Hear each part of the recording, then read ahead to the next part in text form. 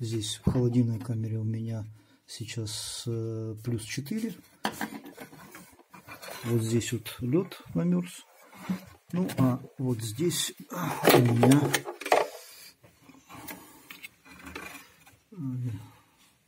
замерз. Показывает минус 18. Минус 18, минус 17. Работает хорошо. Ну что же, как получилось провести сервис холодильника, который и от 12, и 220, и от газа. А, вытащить его отсюда, вот из этого паза была ну, совсем нелегкая задача. Во-первых, он прикручен. Прикручен вот э, через бруски здесь и через бруски оттуда.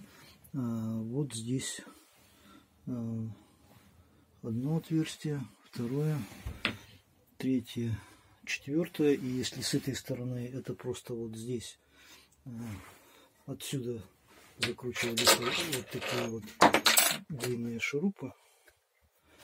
С этой стороны все понятно, то с той стороны, но не совсем понятно. С этой стороны вот один был шуруп, а с другой стороны, вон тут внутри, под корпусом туалета, пришлось э, снаружи вытащить кассету туалетную и аккуратно рукой доставать, еле-еле достал, он как-то тут на стыке прямо э, неудобно было, но еле-еле под наклоном отверточку плоскую пришлось, э, сам он э, крестообразный, плоской отверточкой потихонечку удалось немного открутить, и тогда он вышел. Э, что было сделано? Ну, во-первых, все почищено. Ну и холодильник нужно было продуть. Я обратил внимание, что, смотрите, хотел сделать вот он, э, здесь два вентиляционных окна, это приток, и вот там выход. Значит, если, если бы, видите, тут такой полукруглая, э, когда ставится печка, она прямо до самого, э, вот аж до сюда, до самого конца доходит. Если бы э, тут было большое расстояние, то я хотел сделать такой э, из жести сделать такой отражатель, чтобы воздух отсюда приточный и шел не мимо холодильника, а прямо дул на холод... как бы сдвигался на радиатор сзади холодильника. Но так как здесь вот тут уже некуда даже его так подвинуть, потому что он и так практически достает когда заезжает, ну тут прямо остается несколько сантиметров, поэтому э, не сделал. Э, э, вентиляционная решетка здесь была практически, ну, не то чтобы забита, но мусор был. Вентиляционная решетка здесь тоже пришлось по, почистить. Э, с этой стороны я вычистил, а с той стороны нужно. А, продул сам холодильник. Ну, это я сейчас покажу, что было сделано в самом холодильнике. Какое здесь, здесь обслуживание необходимо? Ну, конечно, э, всю пыль убрать. Тут это однозначно здесь, там. Э, что еще необходимо сделать? Э, проверить, все ли в порядке с контактами. Вот смотрите, вот здесь у меня вот контакты в таких пластиковых втулках. И обратите внимание на вот эту, полностью расплавилась и, и окислилась зеленью.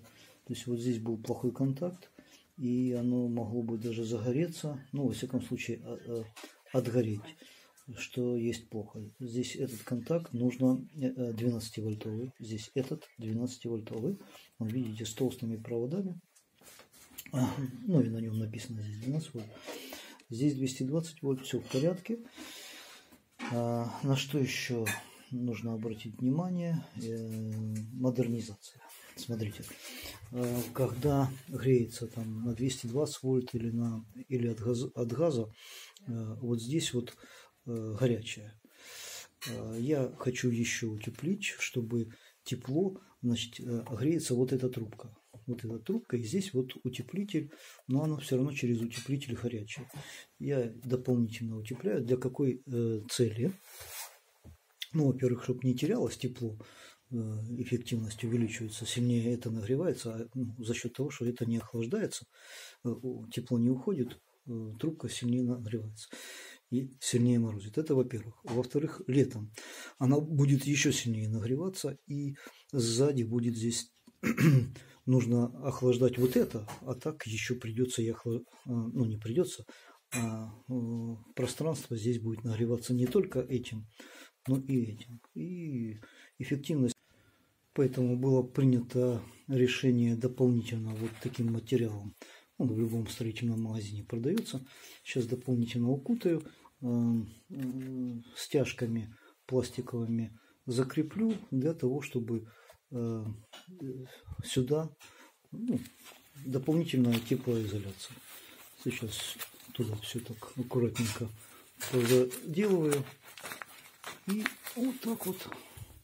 И оно дополнительно будет сохранять тепло, которое мы здесь расходуем. Потому что здесь как раз это основной элемент э, здесь или газом, вот газовая горелка, а, ну, да, дальше еще покажу, что необходимо было сделать, значит, или газом, или 220 вольт, или 12 вольт здесь нагревается, э, и вот э, за счет этого э, идет процесс в аммиачном холодильнике.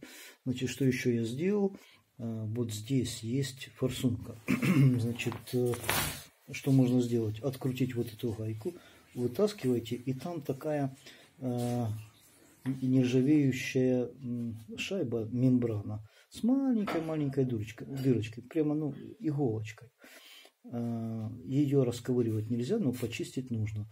Если она забивается, то слабо горит газ. Ну, а все остальное в данной ситуации здесь все в хорошем состоянии, все горит, э, все работает, э, поэтому больше ничего в обслуживании не нуждается.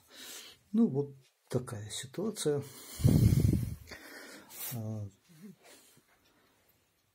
Сейчас я все это делаю, ставлю назад и холодильник уже проверил.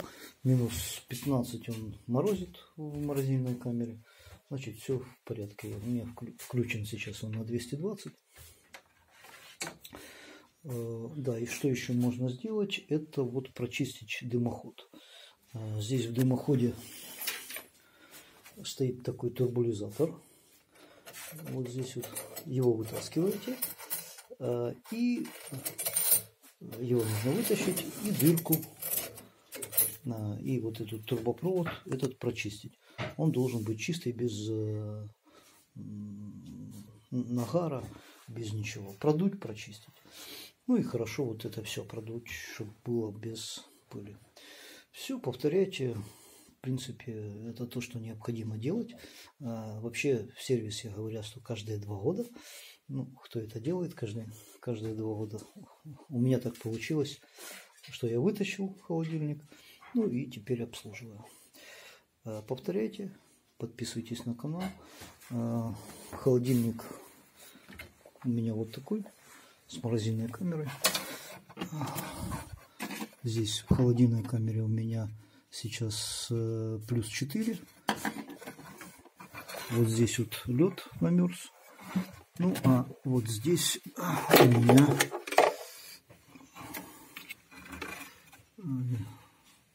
замерз. Показывает минус 18. Минус 18, минус 17. Работает хорошо. Дома плюс 20. При плюс 20 он даже до такой температуры, до минус 20 доходит. Так что работает все хорошо.